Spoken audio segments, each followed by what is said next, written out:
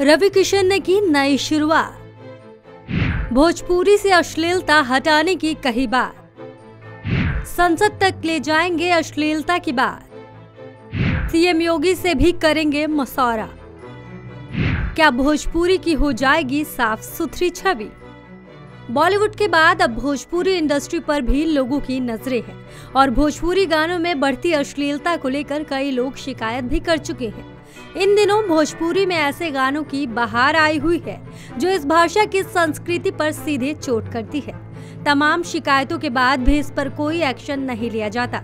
लेकिन अब अभिनेता से नेता बने भाजपा सांसद रवि किशन इस पर बड़ी चोट देने की तैयारी कर रहे हैं। बता दें कि सांसद रवि किशन खुद भी भोजपुरी फ़िल्मों के सुपरस्टार रह चुके हैं। हाल ही में उन्होंने एक संवाददाता सम्मेलन को संबोधित करते हुए कहा। कि कुछ लोग भोजपुरी गानों में अश्लीलता का इस्तेमाल कर भाषा की छवि धूमिल कर रहे हैं। इसीलिए अब वो इस मामले को संसद में उठाएँगे। दरअसल रवि किशन ने मीडिया से बात करते हुए कहा कि भोजपुरी एक हज़ार साल पुरानी भाषा है और यह इसे 25 करोड़ लोग बोलते हैं। कुछ लोग भोजपुरी गानों में अश्लीलता का इस्तेमाल कर इस भाषा की छवि धूमिल कर रहे हैं।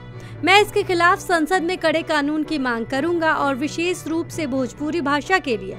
उत्तर प्रदेश में सेंसर बोर्ड गठित करने के बारे में मुख्यमंत्री योगी आदित्यनाथ से चर्चा करूँगा।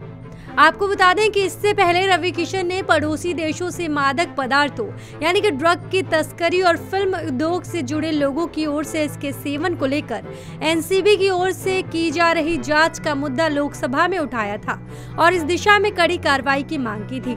हालाँकि रवि किशन के इस बयान के बाद काफ़ी बवाल भी हुआ था।